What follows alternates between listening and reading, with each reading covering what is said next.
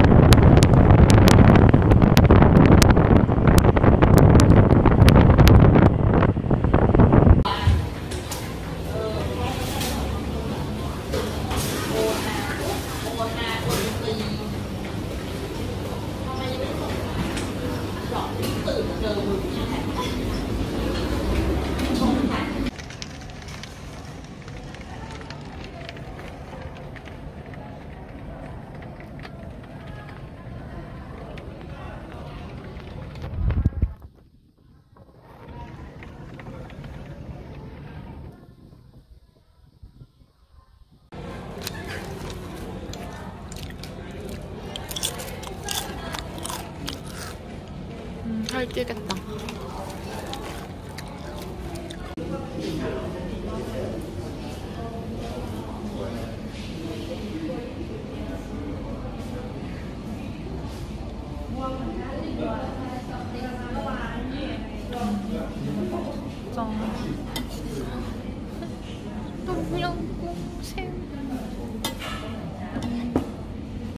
저거 저거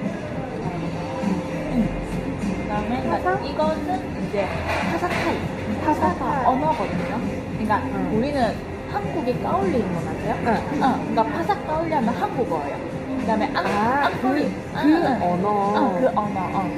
그다음에 아. 영어는 파사 앙그리 앙구리. 어, 앙그리 파사 까올리 하면은 한국어 파사 앙그리 하면 영어. 이쁜 이쁜 알아요? 수어이? 이쁜? 이쁜 파사 이쁜 이쁜? 일본? 어어어 오.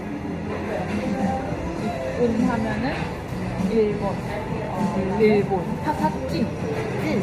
응, 찐. 중국어? 오 맞아 오렌지 느낌 좀 아는데 찐 하면 아 그 다음에 파사 요르만 요르만? 응. 약간 그, 그 요르단 막 이런 거, 두바이 막 이런 느낌 나는데. 어 약간 비슷한데? 아니 중동? 아랍에미레이트, UAE? 어? 그건 어디지? 요르만 하면 독일어. 파사 요르만. 전혀 안 됐어. 나왜 비자 생각했지?